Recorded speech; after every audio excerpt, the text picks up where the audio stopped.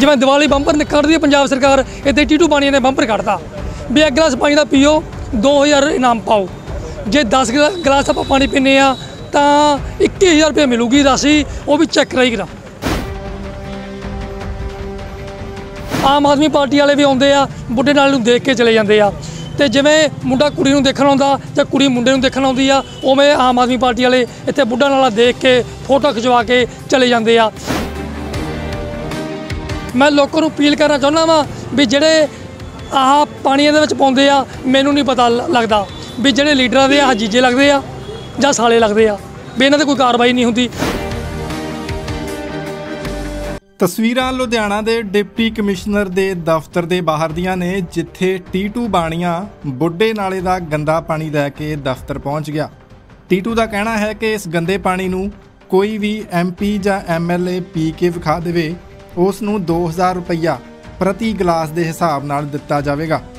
ਟੀਟੂ ਬਾਣੀਆਂ ਦਾ ਕਹਿਣਾ ਹੈ ਕਿ ਉਹ ਇਸ ਗੰਦੇ ਪਾਣੀ ਨੂੰ ਪੀਣ ਲਈ ਮਜਬੂਰ ਨੇ ਤੇ ਇਹੀ ਪਾਣੀ ਸਤਲੁਜ ਦਰਿਆ ਵਿੱਚ ਜਾ ਕੇ ਪੈ ਰਿਹਾ ਹੈ ਜੋ ਕਿ ਸਤਲੁਜ ਦਰਿਆ ਨੂੰ ਪ੍ਰਦੂਸ਼ਿਤ ਕਰ ਰਿਹਾ ਹੈ। ਟੀਟੂ ਜੀ ਅੱਜ ਤੁਸੀਂ ਡਿਪਟੀ ਕਮਿਸ਼ਨਰ ਦਫ਼ਤਰ ਬਾਹਰ ਪ੍ਰਦਰਸ਼ਨ ਕਰ ਰਹੇ ਹੋ ਵੱਖਰੇ ਢੰਗ ਨਾਲ। ਕੀ ਵਜ੍ਹਾ ਕੀ ਹੈ? ਟੀਟੂ ਬਾਣੀਆ ਵੱਲੋਂ ਵਾਹਿਗੁਰੂ ਜੀ ਕਾ ਖਾਲਸਾ ਵਾਹਿਗੁਰੂ ਜੀ ਕੀ ਫਤਿਹ। ਅੱਜ ਟੀਟੂ ਬਾਣੀਆ ਦੁਖੀ ਹੋ ਕੇ ਇਨਾਮੀ ਸਕੀਮ ਲੈ ਕੇ ਆਇਆ ਵਾ।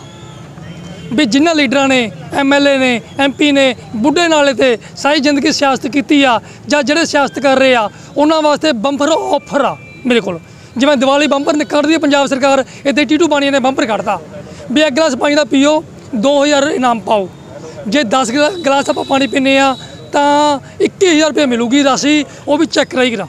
ਚੈੱਕ ਬੁੱਕ ਲੈ ਕੇ ਆਇਆ ਮੈਂ, ਚੈੱਕ ਕਰਾਈ ਆਪਾਂ 21000 ਰੁਪਏ ਦੇਵਾਂਗੇ ਤੇ ਆਹ ਅਸੀਂ ਸਕੀਮ ਦੁਖੀ ਹੋ ਕੇ ਕੱਢ ਰਹੇ ਆ ਕਿਉਂਕਿ ਰਵਨੀਤ ਬਿੱਟੂ ਨੇ ਵੀ ਬਥੇਰਾ ਜ਼ੋਰ ਲਾਇਆ। 650 ਕਰੋੜ ਦਾ ਬੋਰਡ ਲਾਇਆ। ਸਾਡਾ ਬੁੱਢਾ ਨਾਲਾ ਸਾਫ਼ ਹੋ ਗਿਆ, ਸਾਫ਼ ਹੋ ਗਿਆ। 6 ਮਹੀਨੇ ਚ ਕਰਾਉਨੇ ਆ ਉਹਨੇ ਵੀ 10 ਸਾਲ ਕੱਢਤੇ ਕਰਾ।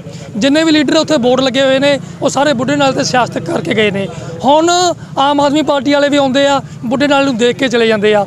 ਤੇ ਜਿਵੇਂ ਮੁੰਡਾ ਕੁੜੀ ਨੂੰ ਦੇਖਣ ਆਉਂਦਾ ਜਾਂ ਕੁੜੀ ਮੁੰਡੇ ਨੂੰ ਦੇਖਣ ਆਉਂਦੀ ਆ, ਉਵੇਂ ਆਮ ਆਦਮੀ ਪਾਰਟੀ ਵਾਲੇ ਇੱਥੇ ਬੁੱਢਾ ਨਾਲਾ ਦੇਖ ਕੇ ਫੋਟੋ ਖਿਚਵਾ ਕੇ ਚਲੇ ਜਾਂਦੇ ਆ।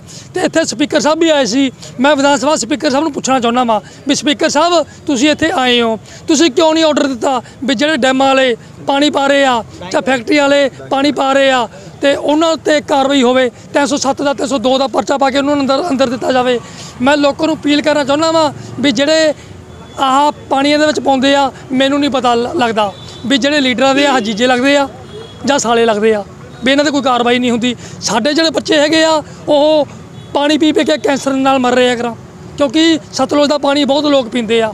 ਕਈ ਪਿੰਡਾਂ ਦੇ ਵਿੱਚ ਤਾਂ ਨਲਕੇ ਵੀ ਹੈ ਨਹੀਂ ਕਰਾਂ ਸਾਡੇ ਹਲਕੇ ਦੇ ਵਿੱਚ ਵੀ ਆਹੀ ਹਾਲ ਆ। ਉਹ ਦਰਿਆ ਦਾ ਪਾਣੀ ਪੀਂਦੇ ਆ ਪਰ ਸਾਡੇ ਲੀਡਰਾਂ ਨੂੰ ਸ਼ਰਮ ਨਹੀਂ ਆਉਂਦੀ ਕਰਾਂ ਇਹ ਕਿੰਨਾ ਲਈ ਰੱਖਿਆ ਪਾਣੀ ਆਦਾ ਜੀ ਮੌਜੂਦਾ ਐਮਐਲਏ ਹੁਣ ਚਾਹੇ ਸਾਬਕਾ ਐਮਐਲਏ ਜਿਨ੍ਹਾਂ ਨੇ ਬੁੱਢੇ ਨਾਲ ਤੇ ਸਿਆਸਤ ਕੀਤੀ ਆ ਉਹਨਾਂ ਵਾਸਤੇ ਰੱਖਿਆ ਜੀ ਆ ਮੈਂ ਕਹਿੰਦਾ ਜੀ ਆਉਣਗੇ ਕਰਾਂ 2000 ਰੁਪਏ ਮਿਲਣਾ ਜੀ ਮੁਫਤ ਨਹੀਂ ਪਿਆ ਰਿਹਾ ਮੈਂ ਕਰਾਂ ਲੋਕਾਂ ਨੇ ਵੀ ਟੇਸਟ ਦੇਖਿਆ ਵਾ ਕਰਾਂ ਹਾਂ ਕੋਈ ਗੱਲ ਨਹੀਂ 2000 ਦਾ ਪੀਣਗੇ ਜੇ 10 ਗਲਾਸ ਪੀਣਗੇ ਮੈਂ 21000 ਰੁਪਏ ਦੂੰ ਸਾਹਿਬ ਨੇ ਵੀ ਪਾਣੀ ਪੀਤਾ ਸੀ ਉਹ ਸੀਚੇਵਾਲ ਦੇ ਨਾਲ ਮੈਂ ਮਾਨ ਸਾਹਿਬ ਨੂੰ ਬੇਨਤੀ ਕਰਦਾ ਇੱਕ ਵਾਰੀ ਇਹਦਾ ਵੀ ਥੋੜਾ ਚਸਕਾ ਜਿਹਾ ਲੈ ਕੇ ਦੇਖ ਲਓ। ਤੁਸੀਂ ਤਾਂ ਮੁੱਖ ਮੰਤਰੀ ਹੋ ਤੁਹਾਨੂੰ ਤਾਂ ਮੈਂ ਵੱਧ ਪੇਮੈਂਟ ਕਰ ਦੂੰਗਾ ਕੋਈ ਗੱਲ ਨਹੀਂ ਕਰਾਂ। ਦੱਸਿਓ ਨਾ ਪਰ ਕਿਸੇ ਨੂੰ। ਐਨਜੀਟੀ ਵੱਲੋਂ ਵੀ 100 ਕਰੋੜ ਰੁਪਏ ਦਾ ਜੁਰਮਾਨਾ ਕੀਤਾ ਗਿਆ ਕੀ ਲੱਗਦਾ? ਲੱਗਣੇ ਚਾਹੀਦੇ ਜੀ ਨਾ ਜੁਰਮਾਨੇ। ਕੂੜੇ ਢੇਰ ਨਾਲ ਮੌਤਾਂ ਹੋ ਜਾਂਦੀਆਂ ਨੇ ਕਰਾਂ। ਹਾਂ ਲੱਗਣੇ ਚਾਹੀਦੇ ਜੁਰਮਾਨੇ ਫਿਰ ਲੱਗਣੇ ਚਾਹੀਦੇ। ਹੁਣ ਕੀ ਅਗਲਾ ਤੁਹਾਡਾ ਐਕਸ਼ਨ ਕੀ ਹੈਗਾ? ਇਹ ਤਾਂ ਤੁਹਾਨੂੰ ਐਮਐਲਏ ਦੇ ਘਰ ਦੇ ਬਾਹਰ ਲਗਾਉਣਾ ਚਾਹੀਦਾ ਸੀ। ਨਹੀਂ ਨਹੀਂ ਇੱਥੇ ਐਮਐਲਏ ਐਮਪੀ ਸਾਰੇ ਹੁੰਦੇ ਫਿਰ। ਕੱਲੇ ਕੱਲੇ ਦੇ ਘਰੇ ਵੀ ਜਾਵਾਂਗੇ ਅਸੀਂ।